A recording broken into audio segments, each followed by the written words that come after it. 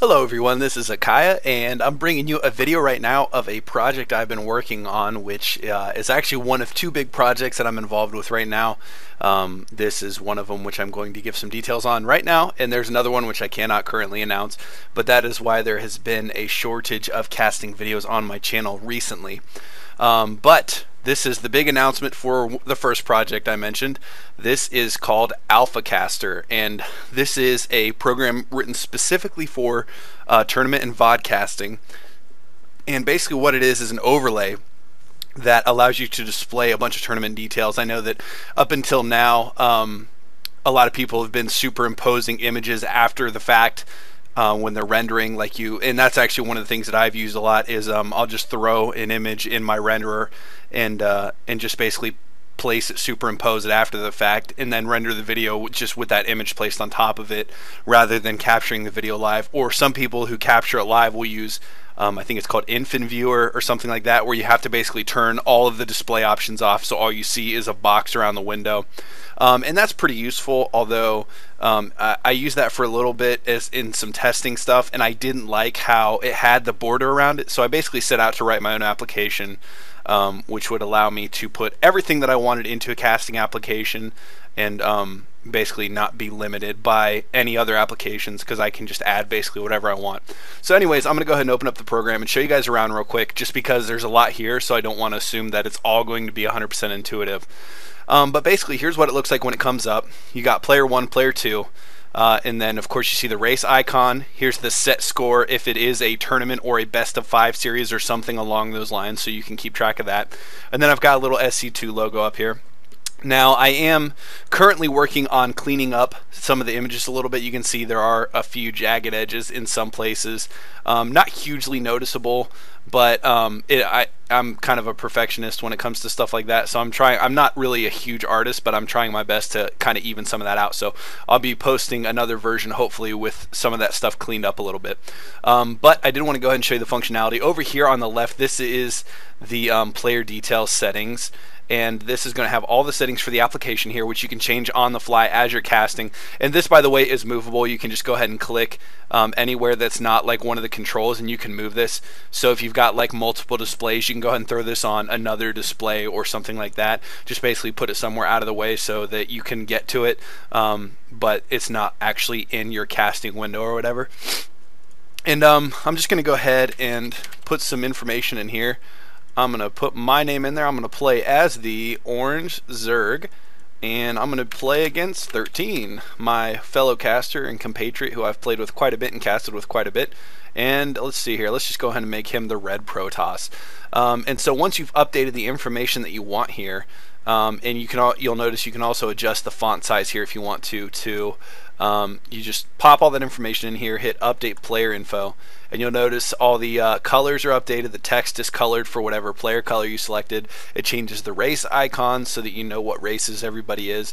Um, and then you can also change the score. So I'm going to go ahead and say that I'm winning in a best of seven series right now, three to one. Update that. There you go. There's the set score right there being updated. Um, and then there's also an option to toggle on and off the player color as the name. Um, and obviously, if you check this, it'll put a colored box next to the name and display the name in plain white text. Um, if that's not checked, it'll just display the player's name in whatever color text you select for that player. So that's pretty simple, straightforward. Um, the lock overlay option, basically, right now, if you click on the overlay anywhere, you can just move it if you want to. Um, so basically, you can place it wherever you know you want to have it for your cast. So I'm just going to go and throw it right there. And then if you click the lock overlay option, it no longer lets you move it. So if you're in the middle of clicking on a bunch of stuff and casting, you don't actually click and drag and move that layover or overlay because obviously you don't want to do that in the middle of a cast. Um, I've also added a hide overlay option. So if you're in between games in live streaming a tournament or something along those lines, you can just click on that hide overlay, and you can even update. So I'm just going to go ahead and change this to uh, another guy that I play with. I am Jack's Guns. Um, and he is, we'll just make him a Terran and changes race to green and then update player info. So all that information is going to be updated and then you can unhide the overlay. So basically you can also use that to make all the changes and stuff like that in between games and then you can unhide it and all those changes will be applied when you unhide it. Um, the next option is the always on top option which um, I'm just going to go ahead and pull up a folder here you'll notice that right now I can actually put this folder over top of the overlay, which, you know, if you've got the game open, obviously you don't want that to be an issue. So if you click the always on top, it'll just make it so that you can't put anything over top of it.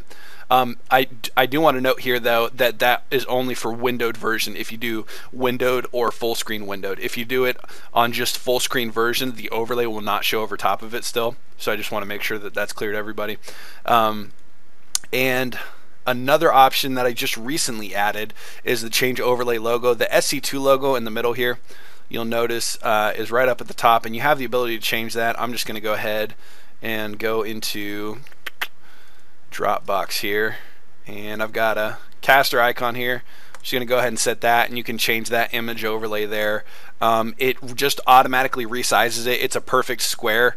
Um, so just make sure whatever image you put in there is um, you know the same wide as it is high in pixels um, and that'll make sure that you don't see any abnormal stretching or anything like that. And then of course it does have transparency. So if you're going to have uh, diagonal or round edges or anything like that just make sure they're all cropped out real nicely in the original photo and then that'll make sure that they show up real nice on the uh, on the overlay there and the background will come through okay? Um, the there's only a couple more things I want to show you guys about this real quick. Um, one is the resize overlay here, which I am still kind of tweaking a little bit.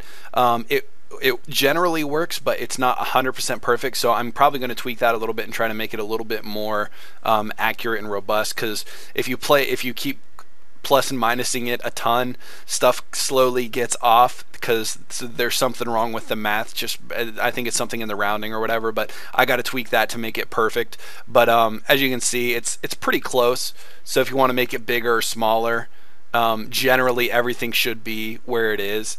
Um, and then of course, if if it starts to look really wonky, or you just want to set it back to the original, there's just a reset size button there, and it'll just put it back to the standard location size and all that kind of stuff.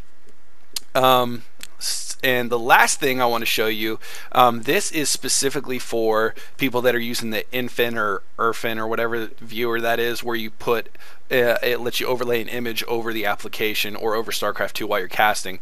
Um, I have an Add Image Overlay button here. So what that does is that's going to go ahead and give you an option to select what image you want to add. And um, I've actually got somewhere in here. Oh man, I probably should have had this signed up or lined up before I started doing this video. I guess it doesn't particularly matter. I just wanted to use the one that I use for all my casts. But I do not see it. There's my signature for some forums. Yeah, that's not going to work. Okay, well, I guess I'm just going to use one of my uh, SCBG open images maybe. No. Okay, well, we'll just go ahead and use the avatar that I was creating. Hey, there's the avatar. Um, and basically you can click and drag this anywhere you want to. You'll see you have a border to resize. So you can make it the size you want. You can place it and then You'll notice here there's an image overlays uh, panel that popped up here now um, and this will allow you to manage multiple overlays so I'm just going to go ahead and add another one in here for effect so that we can uh, kind of demonstrate that functionality real quick. There's another one right there so you can make them uh, you know resize them put them wherever you want and then you can manage them. You can just pop between them. And uh, there's a couple options that you have here for each overlay. Um, there's the always on top option, which just does the same thing as the overlay for the player details up at the top here. It just makes it so that that image is always on top no matter what else you put on front of it. Um, there's also a hide option here, so you can hide a specific overlay if you want to. Um, a lock option, so that if you've got an overlay placed, and again, you don't want to accidentally click on it and move it during a cast, you can go ahead and click that lock, and it's not going to go anywhere if you click on it. Um, and then the resize option here, this is checked by default so that when you initially open it, you can resize it and place it where you want it. And then of course, when you uncheck it, this is the big thing that, as I mentioned, bothered me about the infant viewer is that the border would not go away. So if you uncheck that resize option, you can get the border to go away and just get a clean image over top of your casting without having to worry about that goofy looking border over top of it. So I don't know if that's a big deal for you guys or not, but that's something that really bothered me. So I, I did, that was one of the things that really spurred me getting into this so that I could actually make it do all this. Uh, and then of course, if you want to, if you've got an image in this uh, image overlays queue here that you want to get rid of, you can just select it, hit delete overlay. That'll get rid of it. Um, and then of course you'll still have your other overlays available here to mess with if you want to. So um, that's all the basic functionality. Um, I created this program specifically for my own uses and needs. So right now it's basically got the whole laundry list of stuff in there that I want to use it for. But um, if there are any other people in the community in the StarCraft 2 community who do casting or tournaments or anything like that, um, and there's specific functionality that you want that I don't have in the application currently, um, please feel free to send me uh, a PM on uh, YouTube or you can email me at achaia.scbg at gmail.com. That's A C H A I A dot scbg at gmail.com. Excuse me.